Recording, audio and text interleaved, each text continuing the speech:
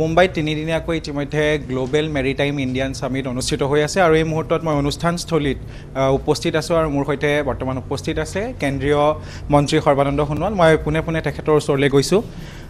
তিনিদিনীয়াকৈ মুম্বাইত অনুষ্ঠিত কৰা হৈছে ইণ্ডিয়ান মেৰিটাইম গ্ল'বেল ছামিট আৰু ইয়াৰ লগত সংগতি ৰাখি আমি যদি চাওঁ বিভিন্ন ধৰণৰ প্ৰজেক্টছৰ ওপৰত আলোচনা হৈছে আৰু বহু কোটি টকাৰ ইতিমধ্যে আলোচনাও হৈছে প্ৰকল্প হাততো লোৱা হৈছে। ইমান এটা ডাঙৰ প্ৰজেক্ট ইমান এখন ডাঙৰ ছামিট আপুনি বিভাগীয় মন্ত্ৰী হিচাপে কি ধৰণৰ আশা লৈছে? এই গোটেইবিলাক সম্ভৱ হৈছে এইকাৰণে যে গোটেই মন্ত্ৰালয়টোৱে এটা নতুনত্ব পাবলৈ সক্ষম হৈছে আৰু নতুনত্ব প্ৰদান কৰিছে। মাননীয় প্ৰধানমন্ত্ৰী নৰেন্দ্ৰ মোদী ডাঙৰীয়া তেখেতৰ কাৰ্যকালত যিবিলাক নতুন নতুন পদক্ষেপ নতুন নতুন চিন্তা আৰু নতুন নতুন উল্লেখযোগ্য সফলতা এইবিলাক ভাৰতবৰ্ষৰ এশ চল্লিছ কোটি জনগণে প্ৰত্যক্ষ কৰিছে আৰু ইয়াৰ পৰা সকলোৱে আত্মবিশ্বাস দুগুণ বৃদ্ধি কৰিবলৈ সক্ষম হৈছে। গতিকে তেখেতে বাই এক্সাম্পল সফলতাৰ প্ৰতিচ্ছবিখন দাঙি ধৰিছে। বাই এক্সাম্পল মানে এটা কথা আছে উপদেশতকৈ আৰ্শী ভাল নহয়নে? গতিকে আজি মাননীয় প্ৰধানমন্ত্ৰী নৰেন্দ্ৰ মোদী ডাঙৰীয়াই কঠোৰ পৰিশ্ৰম কৰি নতুন নতুন চিন্তা নতুন নতুন পৰিকল্পনাৰ যোগেদি যোৱা চাৰে ন বছৰ যোগ্যতাৰে দক্ষতাৰে দৃঢ়তাৰে যি তেখেতে নেতৃত্ব দিছে ভাৰতবৰ্ষক সুশাসন ব্যৱস্থা প্ৰতিষ্ঠা কৰি আৰু স্বচ্ছ আৰু নিকা প্ৰশাসন যন্ত্ৰ নিৰ্মাণ কৰি তাৰ ফলত আজি ভাৰতবৰ্ষ দুপত দুপে উন্নতি জখলাত বগাবলৈ সক্ষম হৈছে। আজি ভাৰতবৰ্ষৰ প্ৰতিটো বিভাগে প্ৰতিটো মন্ত্ৰালয়ে তেখেতৰ নেতৃত্বত অধিক পৰিশ্ৰম কৰাৰ মনোবল পাইছে আৰু তেনেধৰণে প্ৰতিগৰাকী নাগৰিককো তেখেতে সবল কৰাত বিভিন্ন ধৰণৰ আঁচনিৰ যোগেদি সফল হৈছে। গতিকে তেখেতৰ নিৰ্দেশতেই এইখন ছামিট আয়োজন কৰা হৈছে। এইখন ছামিটলৈ পৃথিৱীৰ যিবিলাক লিডিং মেৰিটাইম নেশ্যন তেখেতসকলক আমন্ত্ৰণ জনোৱা হৈছে। আৰু ইয়াত ষাঠিখন ৰাষ্ট্ৰই অংশগ্ৰহণ কৰিছে। ষাঠিখন ৰাষ্ট্ৰই অংশগ্ৰহণ কৰি বিভিন্ন ৰাষ্ট্ৰত প্ৰচলিত যিটো ব্যৱস্থা আছে ধৰক ইটালী কেনেধৰণে পৰ্ট পৰিচালনা কৰে। Port management port monitoring port infrastructure ঠিক তেনেধৰণে নৰৱেত কেনেধৰণে কৰে বা ছিংগাপুৰত কেনেধৰণে কৰে অন্যান্য যিমানবিলাক ৰাষ্ট্ৰ আছে African country European country American country Asian country গতিকে সেই ৰাষ্ট্ৰসমূহৰ বেষ্ট প্ৰেক্টিচেছবিলাক ইয়াত প্ৰদৰ্শন কৰা হৈছে।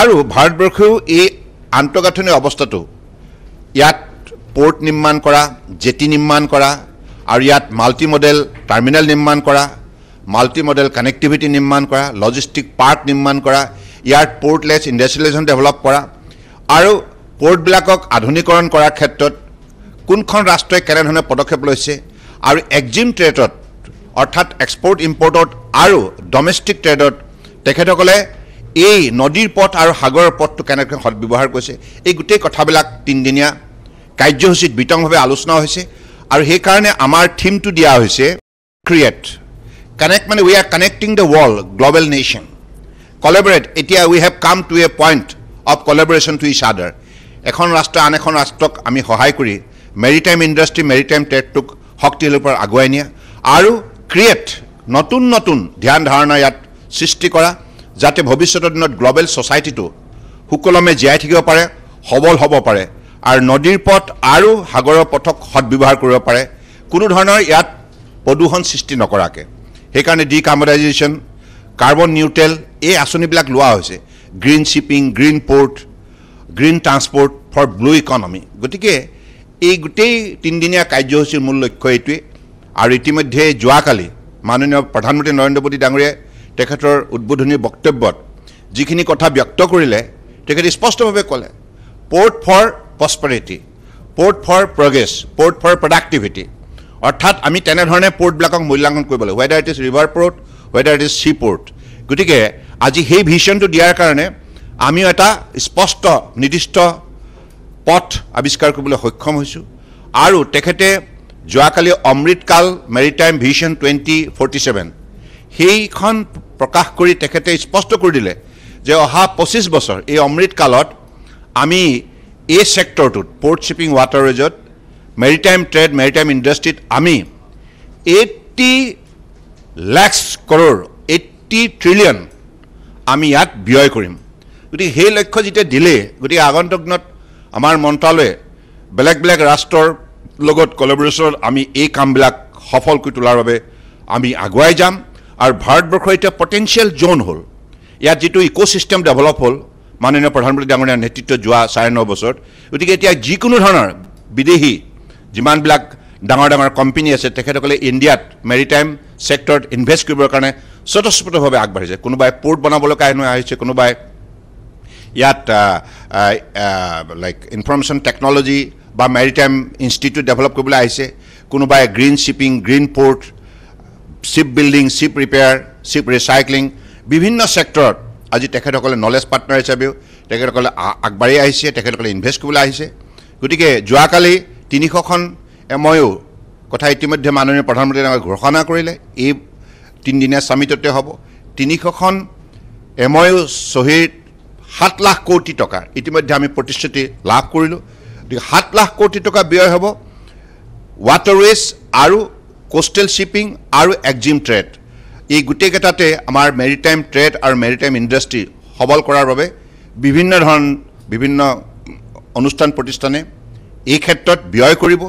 গতিকে মই ভাবোঁ যে এইখিনি ব্যয় কৰাৰ পাছত ভাৰতবৰ্ষ নিশ্চিতভাৱে এখন মেৰিটাইম নেশ্যনৰ লিডাৰশ্বিপ ল'বৰ কাৰণে গ্ল'বেলি যোগ্যতা অৰ্জন কৰিব মই আন এক প্ৰশ্নলৈ আহিছোঁ। অৰ্থনৈতিক বিকাশৰ কথা ইতিমধ্যে চলি আছে আৰু বন্দৰ জাহাজ বিভাগ এই বিভাগটোৱে যোৱাকালি প্ৰধানমন্ত্ৰীয়েও ভাৰ্চুৱেলি কৈছে যে এই বিভাগটোৱে অৰ্থনৈতিক বিকাশৰ ক্ষেত্ৰত যথেষ্ট গুৰুত্বপূৰ্ণ ভূমিকা পালন কৰিছে।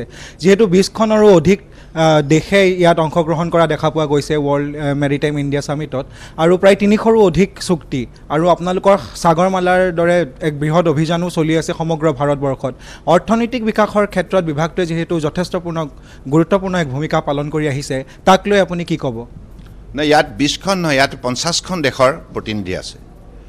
আৰু যোৱাকালি ইয়াত গ্ল'বেল চি অ' বুলি কয় পৃথিৱীৰ আটাইতকৈ যিবিলাক মেৰিটাইম ইণ্ডাষ্ট্ৰীত মেৰিটাইম ট্ৰেডত আগৰণুৱা সেই চি অ'বিলাক চিফ এক্সিকিউটিভ অফিচাৰবিলাকে ইয়াত অংশগ্ৰহণ কৰিছে। অৰ্থাৎ দে আৰ দ্য লিডাৰ্ছ তেখেতসকলে অংশগ্ৰহণ কৰি তেখেতসকলে আগন্তুক দিনত ভাৰতবৰ্ষত ক'ত ক'ত কেনেধৰণে ইনভেষ্ট কৰিব পাৰে এইক লৈ তেখেতসকলৰ আগ্ৰহ প্ৰকাশ কৰিছে।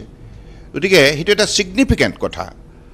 আৰু যিহেতুকে আপোনালোকে জানে যে পৰ্ট শ্বিপিং ৱাটাৰৱেজ এই মন্ত্ৰালয়টো সাধাৰণতে we are the largest transporter in the country যিমানবিলাক আমি সামগ্ৰী বিদেশলৈ ৰপ্তানি কৰোঁ ইয়াৰ নাইণ্টি ছিক্স পাৰ্চেণ্ট আমি কৰোঁ।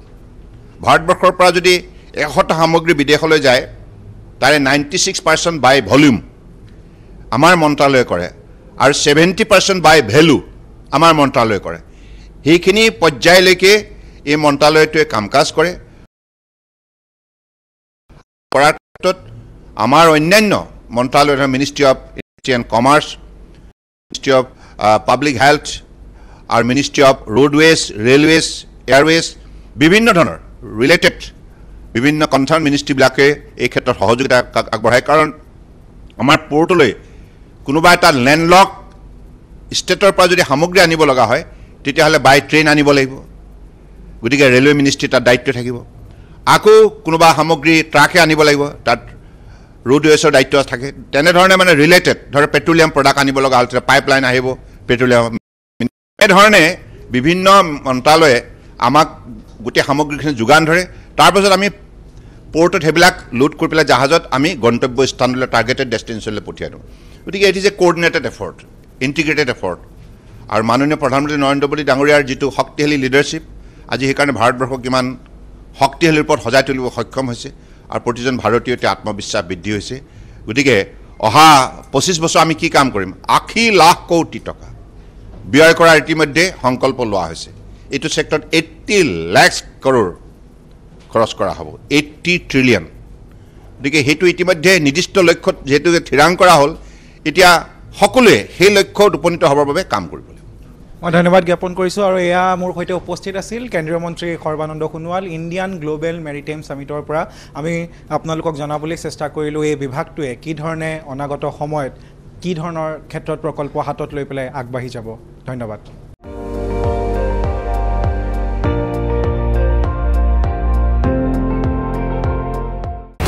আপুনি চাই আছে এন ডি টুৱেণ্টি ফ'ৰ। সৰ্বশ্ৰেষ্ঠ নহয় সৰ্বোত্তমৰ দৌৰত।